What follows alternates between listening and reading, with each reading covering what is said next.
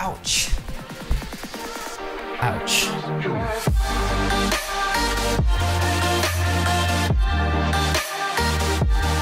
What's going on, everybody? Welcome back to JJD TV. I'm your host, Josh, and today we're back for another five takeaways episode in the DFB Pokal first round matchup against Duisburg.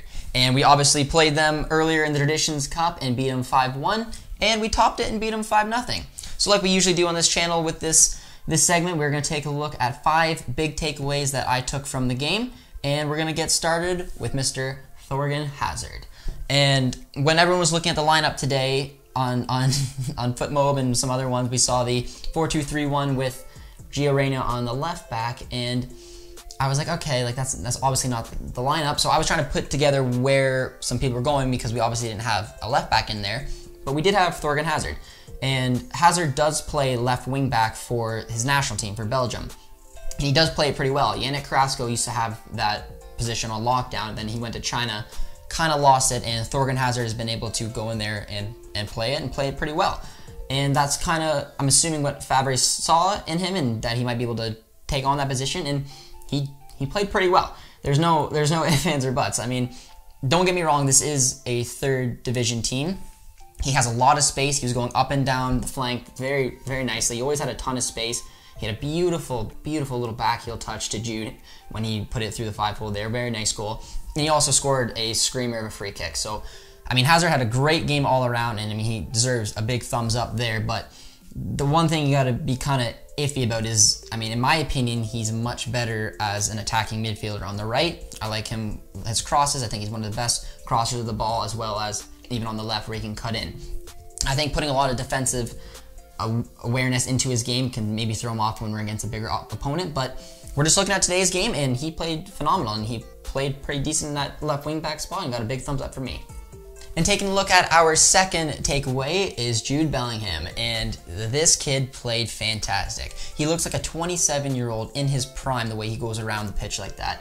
The thing I really liked about him in this game I saw was that when he, every time he got a ball, whether he's in a tight space or not, he was able to do a quick turn, quick look. He's got such good vision. He brings such energy. He is something else. And Twitter erupted when he got that goal. It was a beautiful pass, like I mentioned, from Hazard, and the composure to put it right along the deck, right through the five hole. It was it was a beautiful performance all around. He looks just he looks so composed for such a young kid. He's only 17 years old, and our scouts deserve another big props and that we were able to, to get him over a lot of other European clubs that were interested in him is just fantastic. And he's looking like he's going to be someone knocking on the door for the starting 11 moving forward.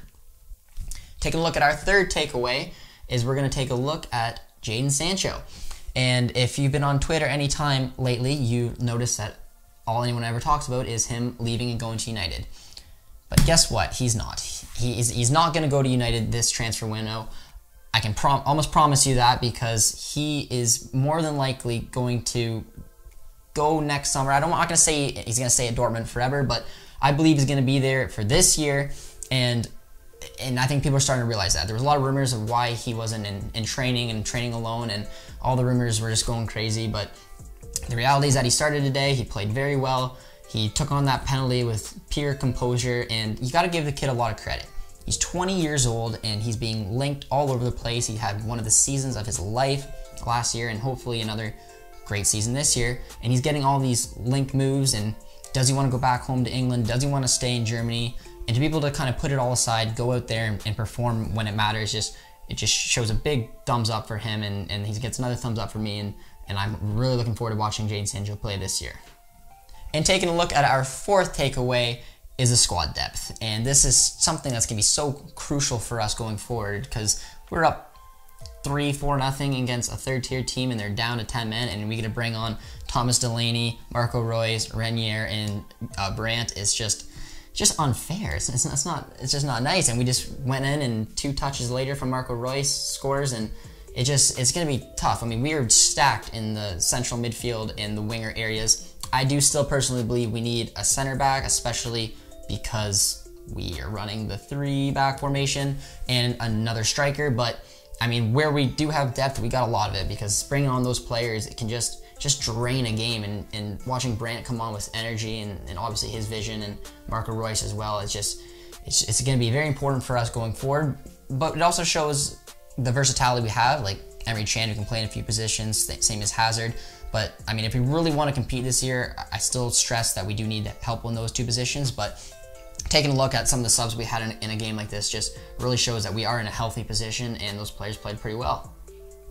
And taking a look at our fifth takeaway, I don't really want to leap on a negative note, and it's not a negative note. This is getting a neutral thumb, and it's just because I went five thumbs up last video. I want I don't want to do five thumbs up every video.